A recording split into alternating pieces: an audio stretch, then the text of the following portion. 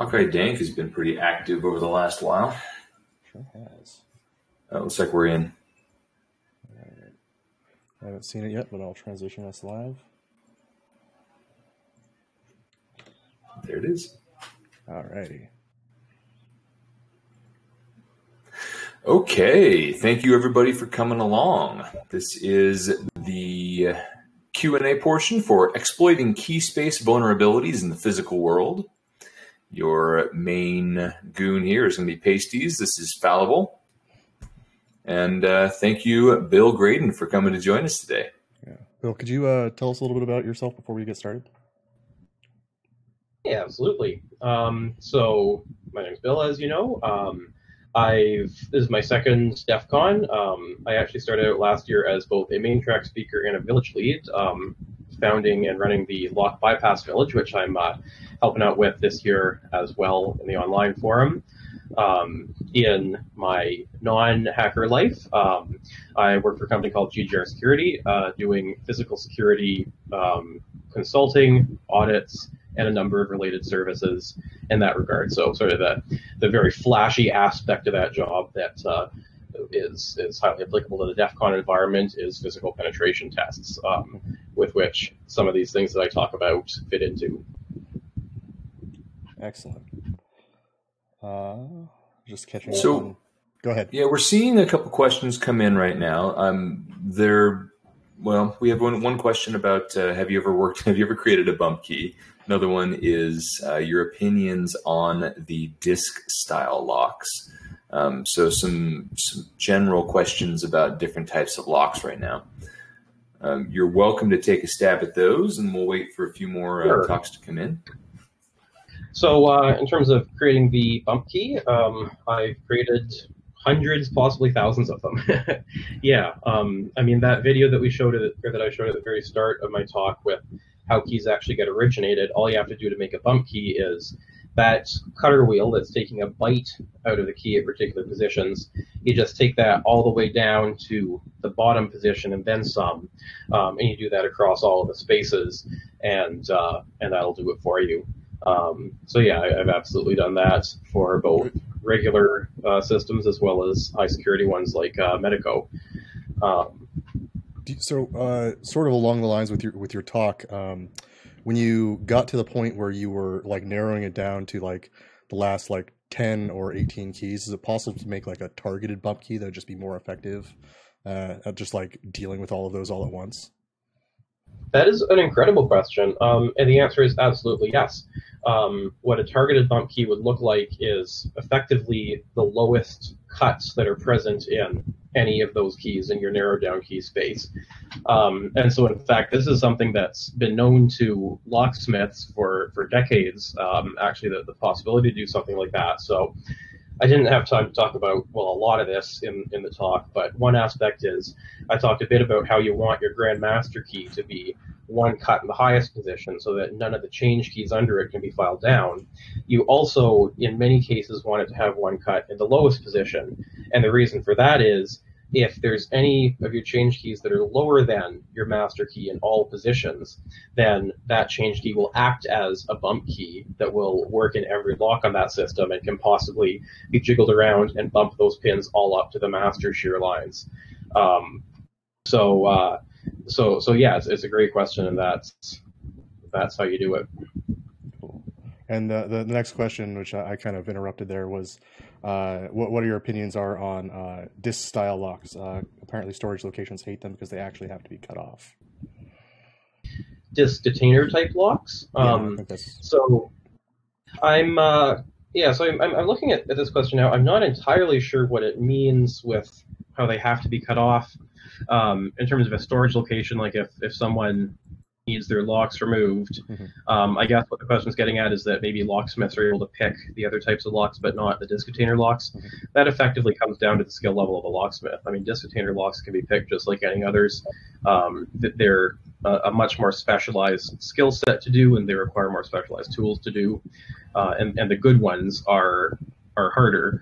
Um, you know, so if you got an Abloy Protec on there, it's like there's been no verified, documented picking uh, success with those. So in that case, then yeah, cutting them off is is your only your only option, which for an Abloy Protec is also going to be a hellish of a job. Um, but so I'm not entirely sure what the question is getting at, but I, I think that I think I think uh, that pretty well covers it. Yeah, more than likely.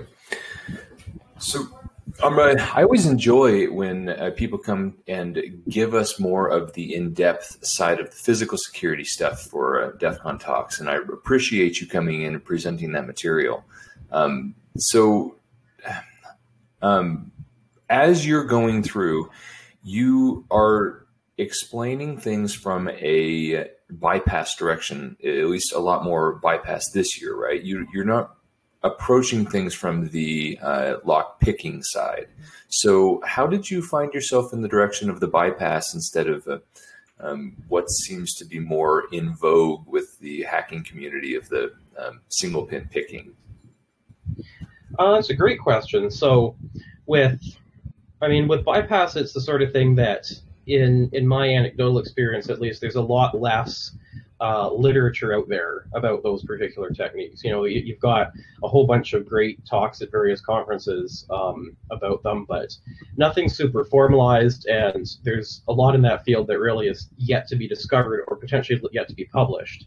Um, since, as uh, as I mentioned in, in, some of my other talks with Bypass Village, um, lock bypassing has traditionally been the domain of criminals and of uh, of classified materials, both of which tend not to get um, published. And even, I mean, locksmiths as well do it, but for, I mean, even still, the locksmithing industry is a very kind of tight um, tribal knowledge, apprenticeship-based type industry where they don't um, they don't publish that sort of thing. And so that's, I think, a large part of why the hacker community has not gotten into it nearly as much lately, or until lately. Um, from a personal perspective as well, like I have never been a very good lockpicker. I understand the theory inside and out, but I just can't do it. Um, and that's in a large part because of a fine motor disability that I have. So it's like, you know, I got to go find something else that uh, takes a bit more core skills. Um, and so lock bypass is part of that. And then having uh, founded and, and, run the lock bypass village, just like you jump headlong into it, you can't get out once you're running a village. I can totally understand that. So what's your what's your everyday carry kit look like? Good question. Um, I mean, I am incredibly disorganized, so to, to think that I have an everyday carry kit is uh, is a bit of uh, um, gratuitous to me. But um, you know, if, if I'm anticipating needing to potentially get through a door, it's like, well, in that case, I'm, I'm carrying a, a, much larger kit than what would be everyday carry. Um, if I'm anticipating, well, maybe needing it, but probably not, um, you know, I, I might have um, a, a, rake, an attention wrench, real simple. That's all the, the picking equipment um, for poking the latch out of the way. Um, so like a, a, shove knife for, for latch bypass. What I've got on my keyring is is a little wire that's just a an L-shaped end of wire that I can whip out and um, and, and, and do that on any lock that I might encounter. So so I've got that. Um, and and really that's about it. Like I, I don't carry a whole lot else with me, and I find that in many cases, um, if you can't improvise, it's it's not worth taking that particular approach in an everyday situation. So. I know there's a lot of discussion in the uh, community, at least in the lockpicking community, of most of what we what we do for fun as lock sporters isn't all that practical in your uh, out in the world trying to be a locksmith um, at least from what I've heard, and I'm, maybe you'll uh, either confirm this or uh, um, tear this down. But if you are, if, if you're faced with a lock, it's usually going to be easier to attack the mechanism that holds holds the door together, or you know, get in through a window, or etc. Oh yeah, absolutely. I mean, the a large part of it is sort of not just hacking, but ethical hacking. It's like if, if our goal is to get into a facility, well, we're sort of balancing a number of, of objectives here. How much do we care about how long it takes us to get in? How much do we care about the damage that we do, the noise that we make, the forensic evidence that we leave behind, etc. So you kind of pick and choose your techniques based on that. And then, of course, there's a cost element, there's a skill element. So it's pretty multidimensional in that regard. Um, and the vast majority of practical cases, so what we see in security consulting, is um, you're you're protecting against forcible, you're protecting against very very very basic bypasses, um, and that's about it. And that's what your threat model is. Um, and so I think in in some regard, the focus of the hacker community on ethical hacking has done somewhat a disservice for the blue team because they are protecting against the wrong threat model. Um, and so so you see you see that a lot um, with with with forcible entry being really downplayed in terms of its its impact on physical security. I, I like that as a thought. That's really interesting. Of uh, talking about um, training the blue team, maybe to not. It, the, the things that people in the outside world are going to hit you with might not be the same things that we as the hobbyists are going to hit you with. So um, do you have like something, some like a specific example of like something that is more realistic in the real world that a blue team might encounter as far as physical security protection goes that isn't like normally tested or advocated for in this these kind of talks, that kind of thing? Yeah, I mean, if you um, you know, let let's take a, a simple example. You're a mom and pop shop and you want to protect your store. Um, if if you go to like you know many many police departments will will do a very simple free security audit for you. Um, and they know very well what the threat model is. And so they're recommending things like bars on the windows.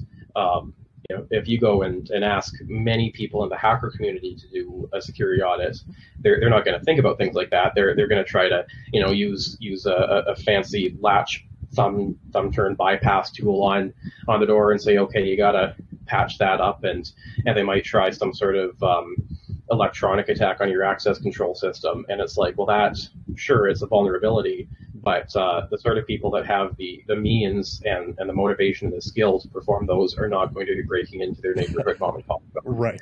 Um, Ma- matching the attacker to the threat model. Yeah. Yeah. Uh, we got a, a question. Um, have you notified any security desks about uh, the vulnerability of having their keys visible?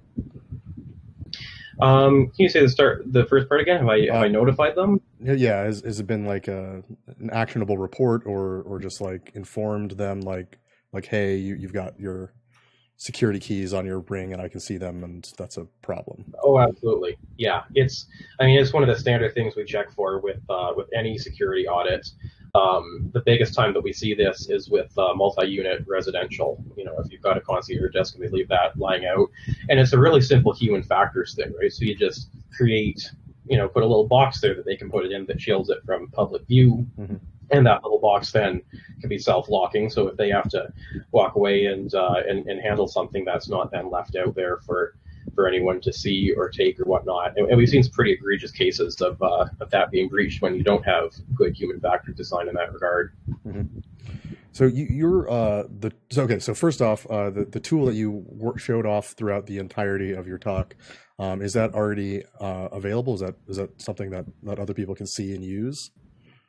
Yes, it is. Yeah, so that's uh, online at a number of links that I've uh, posted in my talk. So you can find the source code on my GitHub, um, B Graydon, and uh, and tinyurl.com slash key dash space will will link you to a version that you can run right in your web browser. That, that's awesome. Uh, so we can uh, share that in the uh, t- track one channel here at the end if that's uh, cool with everybody. Yeah. So good uh, idea. Yeah. Yeah. Um, so with that tool, like uh, like it starts out with a, a, a, pretty brute force approach, and you start adding on these mm-hmm. these layers of knowledge.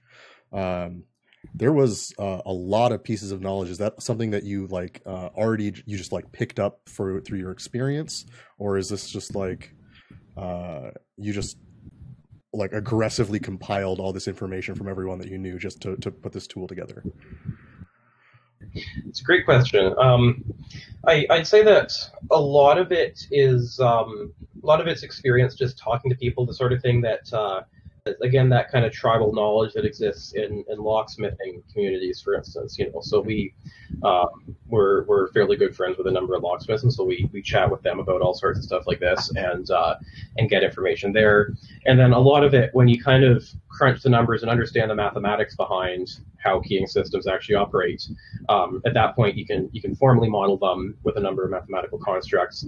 And from that these rules become a corollary of that. So a lot of it can be uh, can be derived independently. Um, and so, for instance, the uh, the the rights amplification attack, right? So we derive that independently and then determine that actually this has been published about before as well, um, and it's been known in the locksmithing community. So it's the sort of thing that a lot of people have have thought about, but hasn't until relatively recently been published widely.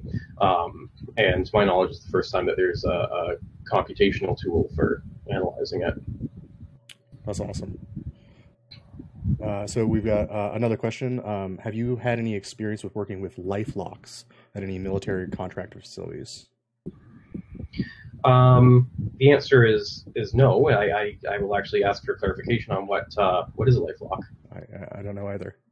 Uh, yeah, Haw- Hawkeye, Hawkeye Dank, if you're if you're still watching, we, you've got us all intrigued what a, a LifeLock is.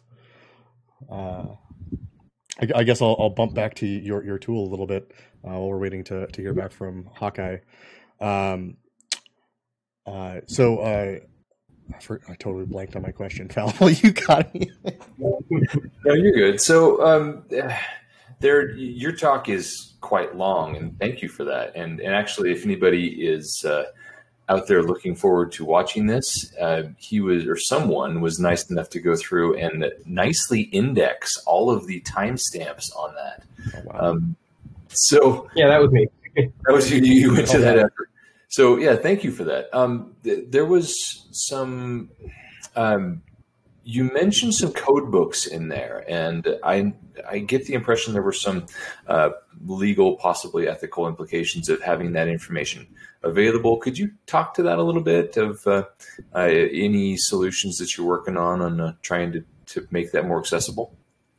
Absolutely, yeah. So um, as far as code books are concerned, I mean, there's hundreds well, there's thousands of them out there. there. There's hundreds that are common to see examples of in the wild.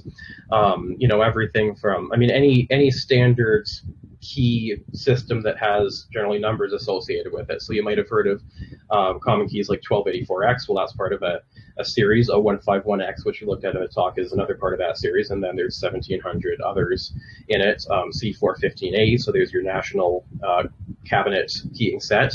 There's about 600 in the A series, as well as there's a B and a C. Um, and there's hundreds of others like that. Um, Medeco non-mastered systems have codebooks as well.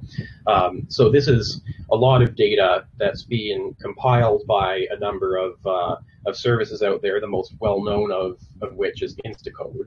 Um, so anyone that's looking for that information on a case-by-case basis can get a subscription to that and uh, and look up, you know, what what is C415A? Well, what's the bitting of that? Um, you can't download the entire data set for that. We happen to have the entire data set. Um, it's not licensed in a manner that we can then release it freely, um, unfortunately. So what one thing that I'm toying with to make that actually happen is create sort of a crowdsourced um, uh, platform so people can, if they have access to that information in a way that they're not constrained by the license, mm-hmm. they can upload it and uh, and then we can create a compendium of that, as well as I'm going to be adding back into the app a way to import that data if you happen to have it through whatever reason uh, or whatever source, and then you can analyze it that way. Um, so yeah, I'm, I'm, I'm, working on a workaround for that, but Could, at the time, yeah, go ahead. Just just like spitballing, could that kind of like crowdsourcing be uh, happen at like a finer grain level? Like, I have this style of key, it's got this numeric thing on it, and here's the bitting thing. Could that just be crowdsourced that way instead of you know fully wholesaling uploading the the book? It absolutely could be. Um, that is a little bit trickier when you you intersect that with doing the analysis with this software because now it's like if I have a photo of a key that I think is in this series and I say I want to limit my key space to only what's in that series, if I don't have a complete series, I'm going to get a wrong answer there. Um, so it does create a bit of a challenge with that, which is why um, there's there's value in that information that the codebook you've uploaded mm-hmm. is complete. Um, but for someone that just wants to do a task like look up a particular uh, indirect bitting code to get the direct one, that would absolutely be valuable for that. Cool. Uh, so we cool. Hawkeye did get back to us. Uh, a LifeLock is a uh, fail secure combo lock. It can be spun to keep any further attempts from to open occurring.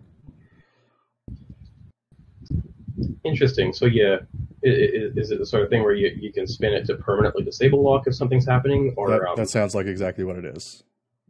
um, that's a that's a cool concept. I I'm not uh, I, I haven't actually worked on any of those before. Um, I'm, I'm interested to look it up and see if there's any fun analytics we can do with that.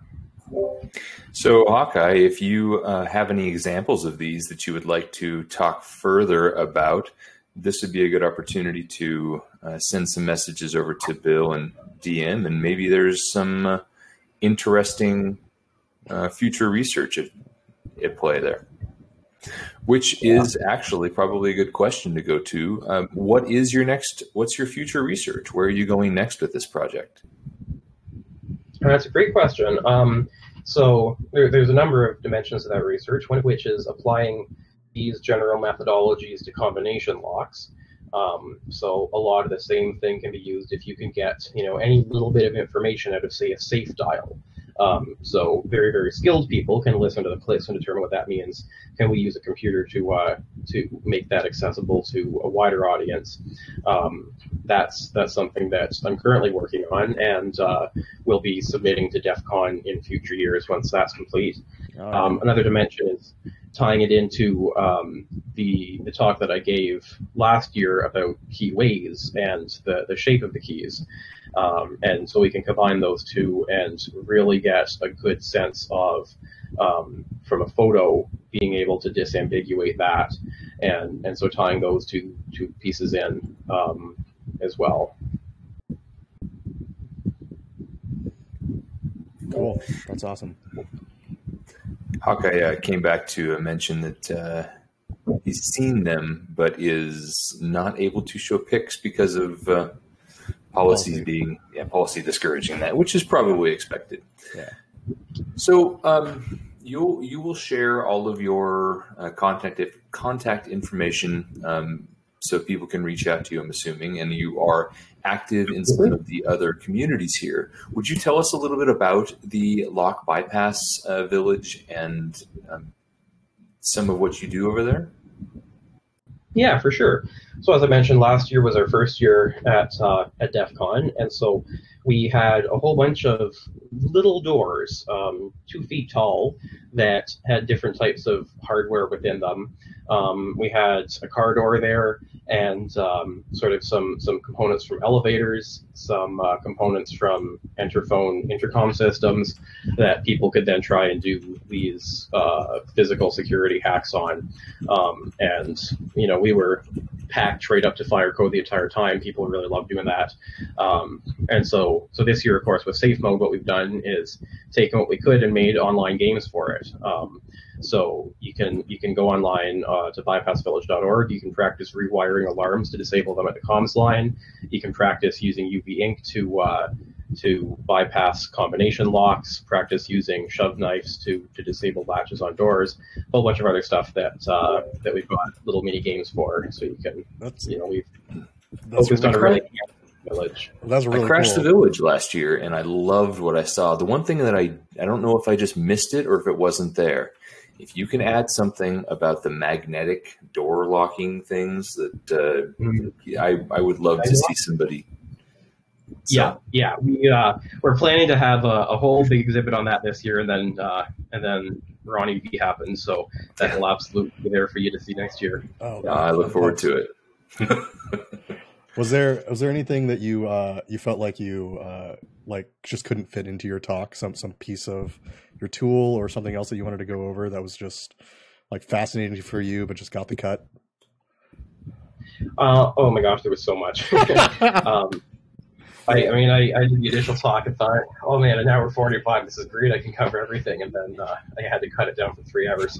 So, um, so I mean, one one interesting thing that um, those who are mathematically inclined will be interested to play around with is there's a separate related tool that will take if you have a system of locks, you know what their shear lines are, it'll generate a relationship graph for all the different low-level keys, master keys, and the top-level master for which key will work in, in which lock, and you get some really neat um, uh, emergent mathematical properties from that um, using different different mastering systems. So that's something that uh, is up on my GitHub right now. um, I will send a link as soon as I can hop over to the uh, track one talk page. Yeah. I'll send a link to a, an active version you could play with. Um, so that that's one one one of many things. Yeah, did did you use that to generate like a, a, a key diagram in your talk at one point? Because there was there was like a grandmaster master like key like tree effectively. So that one was, uh, yeah, yeah. So that, that one was not auto generated. That uh, the auto generated ones are not nearly as well behaved um, as as what I showed in the talk. So I manually made that one. Um, but you know what the auto generated ones look like is what one thing to consider is with with keying hierarchies. It's like if I do the mastering on you know pins one, two, three, four, and five.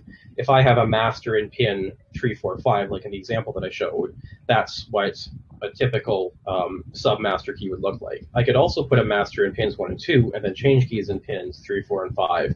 And so now I have a, a, a master key that's going to work on selectively some locks in the A and the B and the C system, and not others. And so you actually have this n-dimensional um, tesseract that's created from uh, from from doing up master keys in that regard. And and there's another type of system called rotating constant system that creates incredibly complex uh, um, relationship graphs there.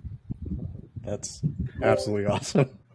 We are Fascinated by it. right almost out of time. I love the question that Panopticon just qu- uh, asked, though. Would you consider posting the director's cut version of your talk?